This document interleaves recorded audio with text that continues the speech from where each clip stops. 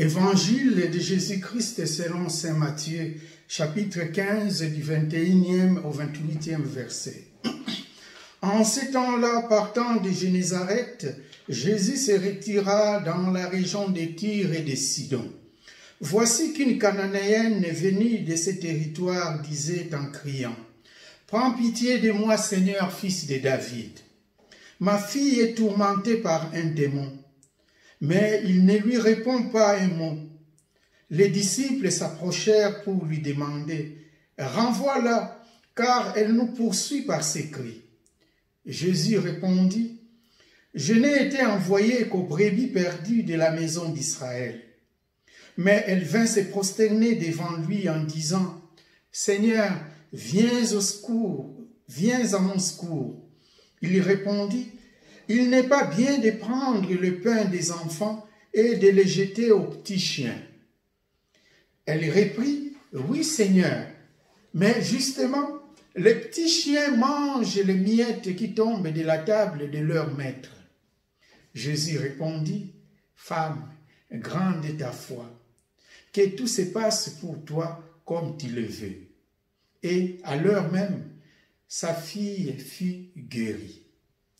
Chers frères et sœurs, l'évangile d'aujourd'hui est très intéressant. On comprend comment Dieu fonctionne. Pour mieux comprendre, voyons d'abord ce qu'on avait lu les deux semaines passées.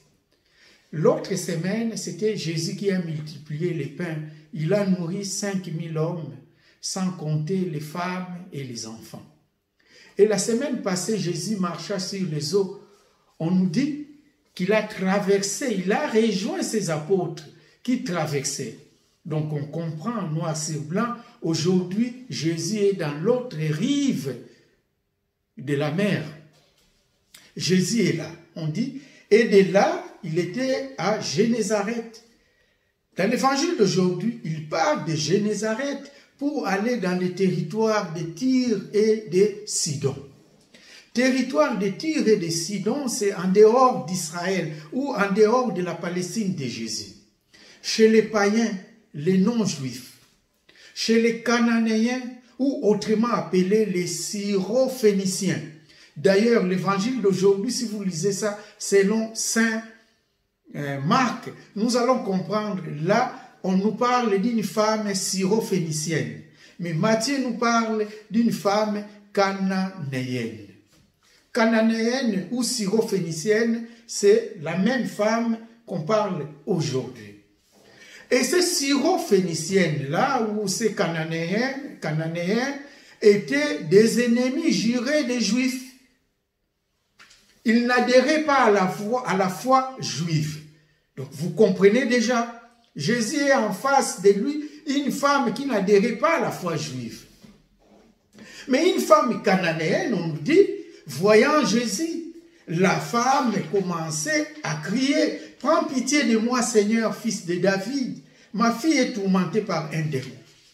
C'est clair. La femme a reconnu, la lignée de, de Jésus, la lignée davidique de Jésus, fils de David. Donc, d'une manière ou d'une autre, la femme adhère à la foi juive, bien qu'elle n'était pas juive. Et puis, quand la femme dit ça, la femme commençait à crier encore plus fort. Les apôtres ont dit à Jésus, écoutez, Seigneur, mais renvoie-la, elle nous dérange.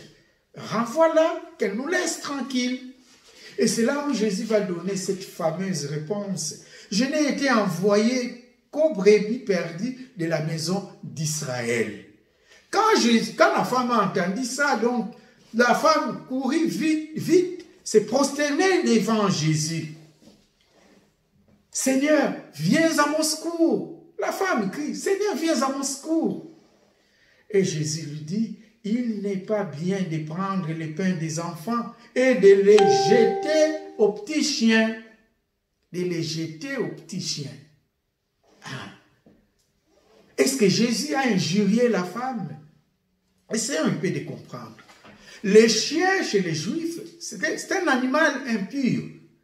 Mais bien que c'était un animal impur, mais ce n'était pas interdit comme le porc. Parce que chez les Juifs, vous ne pouvez pas avoir une porcherie. Ça, c'était interdit. Mais les chiens C'était un animal impur, mais on pouvait quand même avoir un chien. Alors, les païens étaient considérés comme des chiens errants pour une raison, ils n'avaient pas un Dieu. Les Juifs, eux, avaient un Dieu. Les païens n'avaient pas un Dieu. Donc ils étaient considérés comme des chiens errants. Et quand Jésus parle, on ne donne pas la nourriture des enfants aux petits chiens. La femme a compris le message. Et la femme a compris que ce n'était pas une injure, mais c'était clair. Ils étaient considérés comme des étrangers, comme des chiens errants. Mais la femme prend Jésus par ses mots. Mais bien sûr, la femme va dire à Jésus, mais justement, les petits chiens mangent les miettes qui tombent de la table de leur maître. Je suis une chien errante, oui, mais laisse-moi, Seigneur, profiter des miettes qui peuvent tomber de ta table. Voilà ce que la femme euh, a dit à Jésus. Jésus a compris que cette femme-là a fait une très bonne démarche. Femme, grande ta foi, que tout se passe pour toi comme tu le veux. Et à l'heure même, dit-on, la fille fut guérie. Chers frères et sœurs, cette femme-là nous représente, nous tous. Elle nous représente. Elle est là, elle prie et elle a insisté. La persévérance de la femme. Notre Dieu, chers frères et sœurs, n'est pas un boutiquier où on passe, on a donné de l'argent et qu'il nous donne ce qu'on demande. Non. On prie, les restes, il fait à son temps. Les temps de Dieu, chers frères et sœurs, ce n'est pas notre temps. Les temps de Dieu, c'est Kairos. Ce n'est pas Chronos. Il nous répond quand il veut et en son temps. Les temps de Dieu reste un temps inconnu. Chers frères et sœurs, combien de fois on voit les gens, quand Dieu ne répond pas, soit ils commencent à douter, soit ils n'ont plus la foi, ou soit ils vont chercher ailleurs. Ça, c'est ce qu'on appelle la prostitution spirituelle. Parce qu'on pense que la solution va venir ailleurs. Or, il faut persévérer dans la foi comme cette femme cananéenne. Et c'est là où on s'est fait tromper par des faux hommes des dieux, des faux pasteurs ou des faux prophètes qui vont commencer à vous parler euh, d'un Dieu, de succès, de l'argent, d'une vie de prière sans épreuve. On pense qu'une vie sans épreuve, c'est ça la vie. Dieu parfois nous soumet aux épreuves pour tester notre foi. C'est ce que Jésus a fait avec la femme cananéenne. Et la femme a persévéré on trouve à la fin, la femme a eu la réponse, ce qu'elle cherchait, et sa fille fut guérie. Chers frères et sœurs, cette femme nous apprend aujourd'hui à être toujours persévérant quand nous prions. Dieu agit à son temps. Le temps de Dieu n'est pas notre temps. Prions seulement et laissons Dieu être Dieu qu'il puisse faire, qu'il puisse travailler à son temps. Voilà notre Dieu, voilà comment il agit.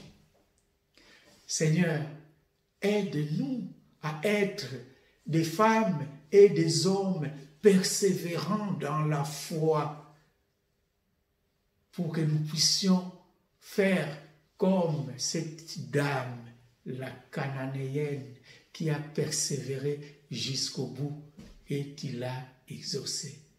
Seigneur, augmente à nous la foi.